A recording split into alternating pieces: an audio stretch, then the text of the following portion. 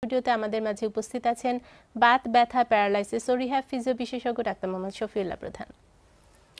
আমরা বিরতির মধ্যে একটা প্রশ্ন পেয়েছি ফেসবুকে আকরাম খান। তিনি লিখেছেন তিন বছর যাবত দুই পায়ের গোড়ালি ব্যথা আর দুটো সেশন উনি পিআরপি করেছেন। কিন্তু কোনো কাজ হচ্ছে না। এখন কি করণীয়? আচ্ছা পায়ের গোড়ালি ব্যথা নিয়ে আমরা এর আগে বহু আলোচনা করেছি। স্পেশালি পায়ের প্লান্টার ফ্যাসিটিস বা ক্যালকিনিয়াল স্পার থেকে গোড়ালি ব্যথা হয়ে থাকে অথবা পায়ের গঠনগত সমস্যা থেকে হতে পারে। আর PRP therapy one of the best latest treatment এবং সেফ তো সাধারণত পিআরপি একটা শেষ একটা জায়গায় তিনবার দিতে হয়। উনি আরেক সেশন করে দেখতে পারে। দুটো সেশন উনি শেষ করেছে আরেকটা সেশন করে দেখতে পারে। কিন্তু পিআরপি করেন আর অন্য থেরাপি নেন বা আমরা যেমন আমরা এখানে হচ্ছে মাসেল স্টিমুলেট করে থাকি অনেক সময় যেটা ফেরাডিক কারেন্ট বা আমরা অনেক সময় লেজার দিয়ে থাকি লেজার থেরাপি বা বিভিন্ন স্ট্রেসিং এক্সারসাইজ যা কিছু করি না কেন অনেক সময় ভালো হয়ে গিয়ে আবার ব্যথা আসে। আর মূল কারণটা হচ্ছে অনেক সময় জুতার সমস্যা থাকতে পারে অনেক সময় ওভার ওয়েট থাকতে পারে পায়ের গঠনগত সমস্যা থাকতে পারে। তো উনি উনি একজন বাত ব্যথা এবং ফিজিওথেরাপি বিশেষজ্ঞকে দেখে পায়ের ট্যাসেস করে দেখতে পারে বা যে ডাক্তার দেখছে ওনাকে ওনাকে বললে পায়ের গঠনগত কোনো সমস্যা থাকলে কারেকশন করতে হবে। যদি ফুট একেবারে ফ্ল্যাট থাকে তাহলে জুতাতে আঁশ দিতে হবে বা ক্যাভাস থাকলে তাও আলাদা আঁশ দিতে হবে এবং সফট জুতা ব্যবহার করতে হবে। তাহলে দেখা যাবে যে সমস্যাটা আস্তে আস্তে কমে যাবে। আর পিআরপি আরেক সেশন দিতে পারে আর দুইটা সেশন দিয়ে দেখতে পারে উনি। আমাদের সাথে আরও একজন দর্শক সংযুক্ত হয়েছেন। আচ্ছা। হ্যালো আসসালামু আলাইকুম দর্শক কে বলছেন কোথা থেকে বলছেন? ওয়ালাইকুম আসসালাম আমি গাইবান্ধা থেকে বলতেছি। ওয়ালাইকুম আসসালাম জি। আমার নানির আসলে আমার নানির পিএলআই মানে নানির বয়স আসলে ষাট ওনার উচ্চতা আহ, মানে পাঁচ ফুট চার ইঞ্চি পাঁচ পাঁচ ইঞ্চি হতে পারে। ওনার আহ, দুই মাস আগে অনেক প্রচণ্ড পায়ের মানে ডান সাইডে প্রচণ্ড ব্যথা একদম পায়ের মানে কোমর থেকে একদম পায়ের গোড়ালি পর্যন্ত ব্যথা।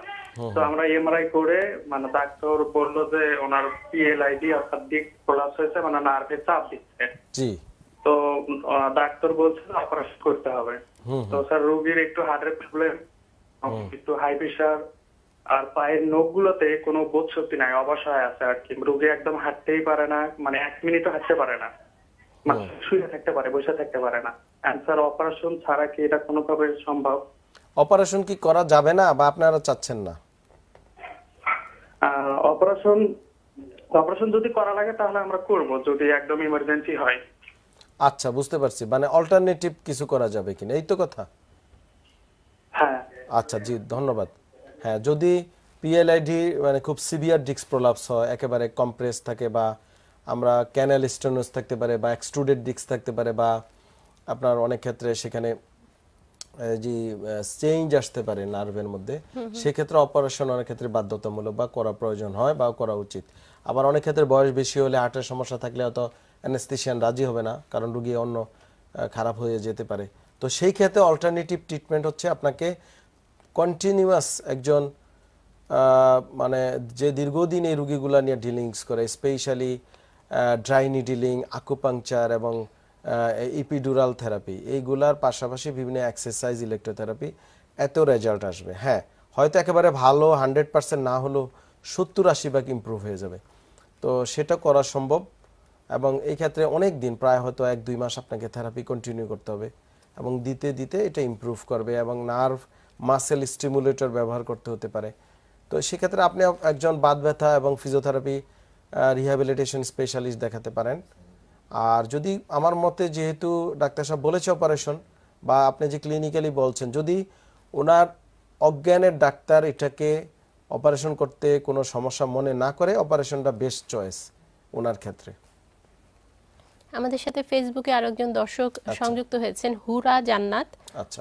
তার হাজবেন্ডের সম্পর্কে লিখেছেন হাজবেন্ডের বয়স সিক্সটি টু ইয়ার্স তার পিঠে ব্যথা শোয়ার পরে ব্যথাটা বেড়ে যায়। এবং ডাক্তার বলেছেন লিগামেন্ট আটকে গেছে। থেরাপি দিচ্ছে কিন্তু মাঝে মাঝে ব্যথাটা বেড়ে যায়। লিগামেন্ট আটকে গেছে যেটা অনেক সময় আমরা বলে থাকি আসলে ডিস্ক প্রলাপসে অনেকে এটা বোঝায় আর কি। লিগামেন্ট তো আটকায় না হয়তো ডিস্ক প্রলাপসে নার্ভ কম্প্রেশন হয়তো ডাক্তার বুঝায় রুগী তার মতো করে একটা বুঝে নেয় এটা হতে পারে। আর যেহেতু শুলে ব্যথা হয় আর দিনের বেলা কম আসে তবে এটা এটা ফিজিওথেরাপিতে ইমপ্রুভ হওয়ার কথা। আমার মনে হয় উনি থেরাপি যার কাছে নিচ্ছে বা যে সে আদৌ ফিজিওথেরাপির চিকিৎসক কিনা সেটা একটা দেখার বিষয়। কারণ অনেক আছে যে হয়তো কোনো রকম ট্রেনিং নিয়ে ফিজিওথেরাপি নিচ্ছে দিচ্ছে। অনেকে আছে ডিপ্লোমা করেছে ফিজিওথেরাপিতে তারা ডাইরেক্ট রুগী দেখার কোনো অধিকার নাই। বাংলাদেশের রিহাব কাউন্সিল আইন অনুযায়ী। তাকে একজন ফিজিওথেরাপিস্ট যে বিএ ব্যাচেলার ডিগ্রিধারী তার আন্ডারে কাজ করতে হবে। হয়তো সেখানেও গ্যাপ থাকতে পারে আমি জানি না। তো উনি অ্যাসেস মানে যে ডাক্তারকে দেখাচ্ছে থেরাপি হয়তো চেঞ্জ সফট বা অনেকে জাজি মেশ হয় বা ফোমেশো বা বিভিন্ন নারকেলের যে ইয়ে দিয়ে তৈরি, খোসা দিয়ে তৈরি বিভিন্ন ম্যাট্রেস থাকে যেগুলো ক্ষতিকর শরীরের জন্য। ওটা কারেকশান করতে হতে পারে পাশাপাশি বা বালিশের ব্যবহার, এগুলো একটু অ্যাড্রেস করতে হবে। আর ফিজিওথেরাপিটা হয়তো চেঞ্জ করতে হতে পারে। মানে এখন যে টাইপের থেরাপি দিচ্ছে সেটা হয়তো চেঞ্জ করলে ইমপ্রুভ হয়ে যাবে ইনশাল্লাহ আমাদের সাথে আরও একজন দর্শক আছেন আমরা ফোনটি নিয়ে আসি। আচ্ছা। হ্যালো আসসালামু আলাইকুম দর্শক কে বলছেন কোথা থেকে বলছেন? ওয়ালাইকুম আসসালাম রহমতুল্লাহি বরকাত আসসালামু আলাইকুম রহমতুল্লাহ। জি ওয়ালাইকুম ওয়ালাইকুম সালাম। আসসালাম স্যার আমি ঢাকা মিরপুর থেকে মোহাম্মদ জাহিদ বলছিলাম। জি। স্যার আমার ওয়াইফের একটু সমস্যা সেটা হচ্ছে চোদ্দই ডিসেম্বর আহ, আর কি বেবি হয়েছে তার সাত দিন পর থেকে নিজের শক্তিতে উঠা দাঁড়াইতে পারে না হাঁটতে পারে না। উঠাইয়া যখন দেওয়া হয় তখন আর কি ধরে ধরে হাঁটতে পারে। আমি নিউরোসায়েন্সে ডাক্তার দেখাইছি ওনারা ফিজিওথেরাপি দিচ্ছে দিছে ফিজিওথেরাপি দিতেছি ওষুধ খাওয়াইতেছি। তো মোটামুটি এখন একটু আর কি হাতগুলো আগে মানে হাতেও সমস্যা ছিল হাতগুলো মোটামুটি এক্সারসাইজ দিচ্ছে ব্যায়াম দিচ্ছে সেগুলোর মাধ্যমে একটু ঠিক হয়েছে। কিন্তু পা আর হলো যে কোমর এই দুইটা মানে নিজে আর কি মুভমেন্ট মোটামুটি করতে পারে কিন্তু উঠাইয়া দিলে আর কি হাঁটতে পারে নিজের শক্তিতে আর কি উঠা ব্যথা আছে। পারে না হাঁটতেও পারে না। ব্যথা আছে? হ্যাঁ, কোমরের ভিতরে আপনার ব্যথা আছে হাঁটুতে আর কি মানে মাংসের ভিতরে চাপায় কামড়ায় এরকম আর কি। ডাক্তার ডাক্তার সাহেবরা কোনো ডায়াগনোসিস করেছে যে এই সমস্যা হয়েছে কোনো রোগের নাম? না না এরকম কিছু বলেন না জাস্ট এইটুকুই বলছে যে ওনার নার্ভগুলো দুর্বল হয়ে গেছে যার কারণে এরকম হইতেছে। আচ্ছা এমআরআই করেছিলেন মেরুদণ্ডের? না এগুলো কিছুই দেয়নি স্যার। আচ্ছা জি ধন্যবাদ। আপনি ওনার একটা এমআরআই করতে বলেন ডাক্তার সাহেবদেরকে। এমআরআই করার প্রয়োজন খুবই জরুরি। আর ফিজিওথেরাপির যে থেরাপিগুলো দিচ্ছে কন্টিনিউ করেন, যে এক্সারসাইজগুলো শিখাচ্ছে কন্টিনিউ করেন, আপনি যে ধরে হাঁটাচ্ছেন, এটাও একটা থেরাপি এই যে আপনি উঠে দিচ্ছেন, তারপরে সে হাঁটতে পারে। সো এই, এটা কন্টিনিউ করতে থাকেন। আপনারা হাঁটার ব্যবস্থা করেন, উঠে দেন, যেন সে একটু নিজে নিজে হাঁটে, হাতের এক্সারসাইজগুলো করান, আস্তে আস্তে ইমপ্রুভ হবে। আর একটা এমআরআই করে দেখেন, মেরুদণ্ডে। যে কোথাও কোনো সমস্যা আছে কিনা। যে কোনো হয়, অনেক সময় এনি ইনফেকশন থেকে হঠাৎ করে এটা হতে পারে বা পোস্ট আপনার ডেলিভারি অনেক সমস্যা হতে পারে বা মাসেল দুর্বল হয়ে গেলে এটা হতে পারে বা ডিক্সের সমস্যা থেকে হতে পারে। তো আমার মনে হয় এটা ভয় পাওয়ার কিছু না, আস্তে আস্তে ইমপ্রুভ করবে। একটা এমআরআই করেন আর ফিজিওথেরাপি কন্টিনিউ করেন। এবং ফিজিওথেরাপি প্রয়োজনে যে এক্সারসাইজগুলো আরও আপডেট এক্সারসাইজ দিতে বলেন। নিজেরা ধরে ধরে করান, একটু হাঁটান বা এগুলো হেল্প করেন। দেখবেন করতে করতে ইমপ্রুভ হবে। এবং এই ক্ষেত্রে মানে থিওরিটা হচ্ছে যে কোনো মাসেল দুর্বল হোক যে কোনো মাসেল গ্রস বডি যদি দুর্বল হয়ে পড়ে তাকে অ্যাসিস্ট করতে হবে। আমরা বলি অ্যাক্টিভ অ্যাসিস্টেড এক্সারসাইজ যখন একটা লোক একেবারে প্যারালাইসিস হয়ে যায় টোটালি যেমন আইসিইউতে আছে হাসপাতালে ভর্তি স্ট্রোকের রোগী বা এনি প্যারালাইসিস তখন আমরা কি করি? পেসিভ এক্সারসাইজ করাই। মানে সে নিজে পারছে না পারছে না, এই জন্য আমরা করে দিই। করাই দিতে হবে। দিতে হবে। আবার কেউ কিছু পারে তাকে অ্যাসিস্ট করতে হবে। দিস ইজ অ্যাসিস্টেড বা অ্যাক্টিভ অ্যাসিস্টেড এক্সারসাইজ এবং অ্যাসিস্টেড অ্যাক্টিভিটি যেমন উনার ওয়াইফরে উঠিয়ে দিলে উনি পারে। সো উঠিয়ে দেওয়াটা কন্টিনিউ করতে হবে। এখন যদি চিন্তা করেন না তোমাকে উঠতেই হবে মানে জোর করে। গ্র্যাজুয়ালি সে বেটার ফিল করবে এবং feel দিকে। করবে। এই যে উঠে দিলে সে করতে চলতে পারে। সাথে কেন হচ্ছে কারণটা নির্ণয় করা আসলে খুব জরুরি। আমাদের সাথে একজন দর্শক সংযুক্ত হয়েছেন। আচ্ছা। হ্যালো আসসালামু আলাইকুম দর্শক কে আছেন আমাদের সাথে? জি আসসালামু আলাইকুম।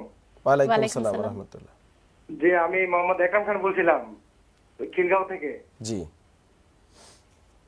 স্যার ওই যে আমার পায়ের গোড়ালিতে ব্যথা স্যার আচ্ছা। প্লান্টার ডাক্তার বলতেছে যে প্লান্টার তিন আচ্ছা। বছর ধরে স্যার ব্যথা। এক পা না দুই পা? স্যার প্রথমে এক পা ছিল বাম পায়ে ছিল পরে ছয় মাস পর আস্তে আস্তে এটা ডান পায়ে চলে আসছে। আপনি কি করেন? ওজন উচ্চতা আর আপনার জুতার ইতিহাস বলেন। স্যার আমি পুলিশে চাকরি করি। হুম। আর আমার ওজন হয়েছে আশি আশি কেজি আর উচ্চতা হয়েছে পাঁচ ফিট ছয় ইঞ্চি। হুম। আচ্ছা। আর প্রথমে আমার ঘুম থেকে ওঠার পরে ব্যথাটা শুরু হয় হ্যাঁ, পা ফেলতে কষ্ট। হয়। জি ধন্যবাদ আমি বুঝতে পেরেছি। এখন শুনেন আপনি তো আপনি তো পুলিশে জব করেন আপনার ওজনটা বেশি আপনার ওজন কমান। এক দুই জি। স্যার, ওই যে পিআরপি পিআরপি দুইটা করেছে আর কি, এখন আমি তিন বছর ধরে স্যার চিকিৎসা করতেছি, কিন্তু কোনো ক্রমে আমি ভালো হইতেছি না। উল্টা আরও দুই পায়ে ব্যথা এবং আমার চলাফেরা করতে অনেক সমস্যা হইতেছে। আচ্ছা জি, আমি বুঝতে পেরেছি। ফেসবুকে আপনি প্রশ্ন করেছিলেন, জি। আমরা বুঝতে পেরেছি। ধন্যবাদ। প্রথমত আপনার হাইট অনুযায়ী ওজন বেশি আছে, আপনার দশ কেজি ওজন কমাইতে হবে।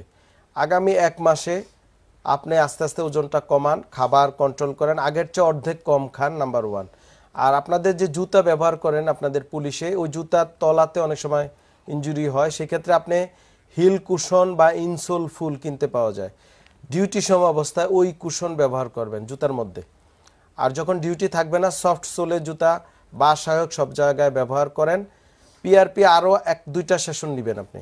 এতেও যদি ইমপ্রুভ না করে, ওজন কমানোর পরেও ইমপ্রুভ না করলে আপনাকে অন্য থেরাপি স্পেশালি লেজার বা এমএসটি মাসেল স্টিমুলেশন থেরাপি আপনাকে করতে হবে, এটা কমে যাবে। এটা এত হতাশার কিছু নাই। বাসায় কুসুম গরম পানিতে পা ডুবিয়ে নাড়াবেন আর আপনার ওই যে খালি পায়ে হাঁটা একেবারে নিষেধ। অনেকে বাসায় খালি পায়ে হাঁটে, সম্পূর্ণ নিষেধ। সবার জন্য প্রযোজ্য। সফট সোলের জুতা ব্যবহার করতে হবে। পন্স বা চপ্পল টাইপের বা আপনার মতো করে আপনারা কিনে নিতে পারেন। তাহলেই সমস্যাগুলো কমে আসবে। অনেক সময় দেখা যায় যে প্রফেশনের সাথে অকুপেশনের সাথে আসলে ব্যথাগুলোর অনেকটা রিলেশন থাকে। কারও কারও ক্ষেত্রে দেখা যায় যে ঘাড়ে খুব ব্যথা হয় এবং কোনোভাবেই ব্যথাটা কমছে না বা বিভিন্ন ফিজিওথেরাপি নিচ্ছে এক্সারসাইজ করছে কমছে না সেই ক্ষেত্রে তাদেরকে আধুনিক কি ট্রিটমেন্ট দেওয়া হয়?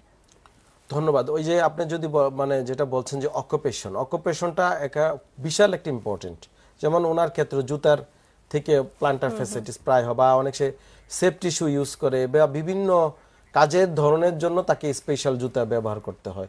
তো সেই ক্ষেত্রে জুতাটা একটু দেখে শুনে ব্যবহার করতে হবে। একটু ইজি গার্মেন্ট যেন হয় সেটা খেয়াল করতে হয় এগুলা। আর আপনি যেটা হচ্ছে অকুপেশনের ক্ষেত্রে ওই যে কাজটা আসলে কি কারণে এটা হয় আমরা যখন রুগী দেখি বুঝতে পারি। আমরা রুগীর বলে দিই। হ্যাঁ, আমরা তাকে কারেকশন করে দিই। জি হ্যাঁ। আপনি এইভাবে কম্পিউটিং করবেন বা আপনি যে ইঞ্জিনিয়ার আপনাকে এইভাবে কাজটা করতে হবে এত সময় বসে থাকবেন। পাশাপাশি অ্যাক্টিভিটিস মানে আমাদের ঘাড়ে আসলে কি? ক্ষেত্রে কি ফিজিক্যাল এক্সারসাইজ ছাড়া থেরাপিউটিক এক্সারসাইজ ছাড়াও কি আর কিছু দেয়া হয় কিনা? হ্যাঁ দেওয়া হয়। আমরা বিভিন্ন ইলেকট্রোথেরাপি দিয়ে থাকি। পাশাপাশি অনেক সময় ভিটামিনের সমস্যা থাকলে বিভিন্ন সাপ্লিমেন্ট প্রয়োজন হতে পারে সেগুলো দেওয়া থাকে।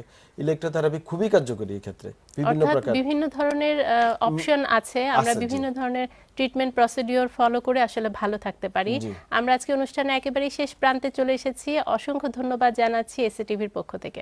আপনাকে অনেক ধন্যবাদ। এসএ টিভির যত দর্শক কলা কৌশলী সবাইকে অসংখ্য ধন্যবাদ। প্রিয় দর্শক, এই ছিল আমাদের আজকের আয়োজনে। দেখা হবে আগামী পর্বে নতুন কোনো বিষয় নিয়ে। সে পর্যন্ত সবাই ভালো থাকুন, সুস্থ থাকুন, নিরাপদে থাকুন। আর এই অনুষ্ঠানটি পুনঃপ্রচার করা হবে আজ রাত দুটায়। ধন্যবাদ সবাইকে।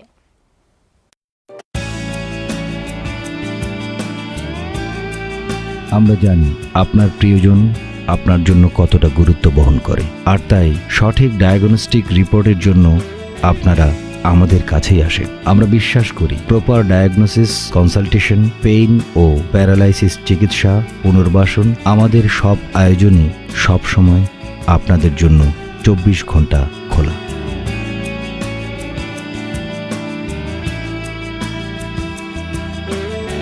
নির্ভুল রিপোর্ট অতি দ্রুত সময়ে আমরাই দিয়ে থাকি।